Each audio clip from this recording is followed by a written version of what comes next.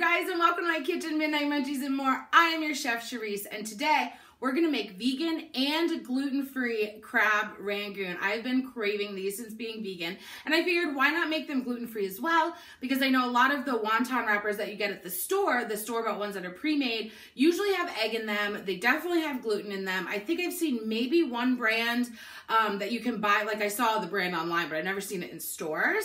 So if you have that where you live, like girl, just buy that. But if not, I'll show you how to make the wonton wrappers as well that you can also use for like dumplings and pot stickers and what have you. But before I get started, I did want to say, don't forget that I have an e-cookbook with all of the recipes from my vegan bakery. So it's called Secret Recipes from a Vegan Bakery, a Midnight Munchies and More exclusive, 46 recipes, plus a bunch of extra tips and tricks. Uh, 71 pages total, super, super awesome. Um, there's gluten-free recipes in there as well. So I'll have that linked below. That'll be on my Etsy, uh, etsy.com backslash shop backslash and more store. So let's jump into it. First thing we need to do is to get our wonton wrapper dough ready to go. So in here I have two cups of Bob's Red Mill one-to-one -one gluten-free baking powder. Now this already has xanthan gum in it, but I'm going to add another quarter of a teaspoon of xanthan gum, which hold on, let me show that to you. Boom. I'm going to add a whole nother quarter of a teaspoon to this because I really want to make sure that this holds together and also a teaspoon of salt. So we're going to mix that together. Side note, I found both of these at Walmart. I also boiled one cup of water that I'm gonna start pouring in there and start getting it mixed together. Sorry, it's steamy tits, but you can go ahead and push that subscribe button while I'm mixing this together, girlfriend. So once this starts clumping together, we can use our hands. It's gonna be warm, but it's cooled down now that it's out of the pan and in the flour. And we're just gonna start pushing this together. Oh, girl actually feels really good and therapeutic being that warm. So we're to turn this out onto our surface and as you can see it still needs to come together. So what we're to do is we're going to knead this for about two minutes until everything starts coming together and it creates a smooth ball as you can see, I no longer have any other loose bits on my counter. It's all in here. It's nice and smooth. You can make impressions into it. It's great. So what we're to do is we're to cover this up and just let this hang out on the counter for about 30 minutes into an hour and just let it rest. This isn't to rise or anything. It's not a bread dough. It doesn't have yeast in it, but we want to let it rest. We want to let that gluten-free flour get soaked into that water more and make it easier to roll out. While our wonton wrappers are resting, I have an 8 ounce package of vegan cream cheese. I'm using Go Veggie this time. That was at my store. You do you, Bill. And then to that, I'm going to add a quarter of a teaspoon of garlic powder, half of a teaspoon of Old Bay, and half of a teaspoon of nori, which is just dried seaweed. And I couldn't find like a flake or anything, so I just bought the sheets and then just like smoosh it up into little pieces. So we're going to put that in there. Oh, oh, missed some. Oh, girl, don't miss that. And then we're just gonna mix this together.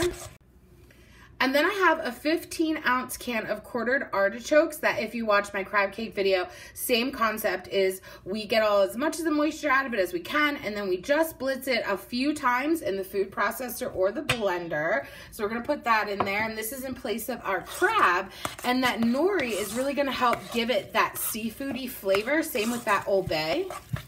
And then we're just gonna let this hang out, let those flavors marry together a little bit while we let our uh, wontons shit keep uh, resting. You feel me? You feel me? I cut my ball into four equal parts because it's going to be a lot easier for us to work with because we need this to be super, super thin. So I have some more of that gluten-free flour, just kind of putting it down there, whip out my rolling pin, and here we go, beach. I will tell you one of the things you really want to make sure that you do is after you give it a quick roll, you want to go ahead and flip it over and you want to be gentle, but you want to keep flipping it or else it's going to get stuck and you're not going to be able to, you know, lift it up off the surface. Now you want to try and get these as thin as you possibly can because that's what wonton wrappers are. So ideally you would take a square cutting, you know, like cookie cutter to cut these out. I don't have one. So I'm just going to cut by hand. Um, so they're not going to be perfect, which is totally fine because life's not perfect. It's going to give them character, just like every human isn't perfect. Everybody's made differently. And I got to tell you, you guys, everybody's differences is what makes us that much more special. We owe it to the world to share our differences and, uh, you know, so I'm just cutting these into squares like a so. And as you can see, like, look at how super thin that is. Oh my God. And it's easy to work with. It's not falling apart. That's what we're looking for. And then if you wanted to use this same dough to make like pot stickers or dumplings or something like that, you certainly can. You would just probably use a circular shaped cookie cutter instead of the square. That way you can put your stuff in the middle and then fold it in half and then that gives you that crescent moon type of shape. After you're done with those four quadrants, you take your scraps, knead them all together just like how we did in the beginning get them all nice and cohesive into your ball and then you can start rolling that out to get more out of your dough. Okay so I'm gonna do some of these that I'm gonna bake and I'm gonna do some of them that I'm going to fry. So I kind of wanted to show you a few different ways that you can wrap these up so for the ones that we're gonna fry I'm just gonna put it in the middle there let me focus, take my water and go around all of the edges. You wanna make sure it's nice and moistened because that's what's gonna hold it together to itself. And then you just take the corners, you lift it up, you lift the corners up. Make sure as you're doing this, you're pressing in against the filling so you don't have an air pocket. And then you have like a little, um, little crab rangoon, little crab rangoon pocket there. Little crab rangoon. Oh my God. Now, for baking them, I like to do it a little bit differently. I like to put my filling a little off to the side here. And I'm going to go in with my water and I'm just going to put it on this one edge in the corner like so. And then just like you would a dumpling, but in square form, I'm going to flip it over and I'm gonna press it down. Now make sure as you're pressing down, you're keeping all of the air out. So you want it completely sealed, but you don't want an air pocket in there. And then I'm just gonna put this on a baking sheet to bake. So for the ones that I'm going to fry, I have a pot of oil on the stove and I'm just gonna fry for a couple minutes each. And then the ones that I'm gonna bake, I have my oven preheated to 425 degrees Fahrenheit and I'm gonna bake them for about 12 to 14 minutes.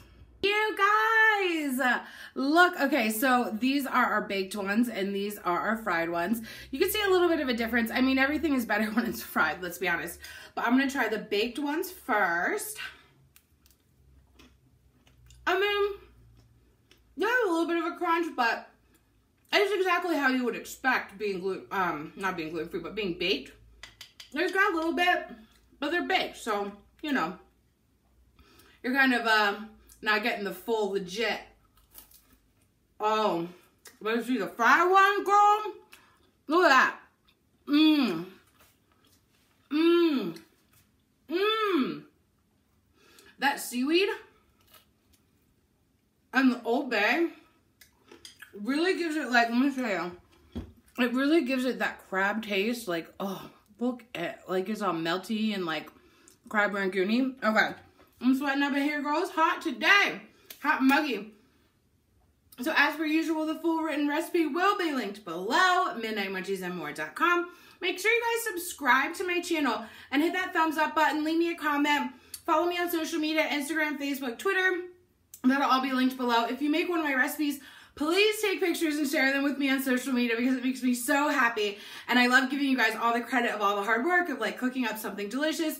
And thank you so much for joining me, and thank you so much for all those who've already bought my cookbook, which again will be linked below. And I'll catch you next time. Oh, good night kisses while he wishes and reminisces. His eyes kissing while he waits for the full moon above. Oh, I worry dove, passionate love. Listening closely, positioning my intuition for her nutrition and ambition. Nutrition and ambition, get up. Like when you rise in the morning, rub your eyes in the morning through the skies in the morning, get up. Like when you rise in the morning, rub your eyes in the morning through the skies in the morning, get up.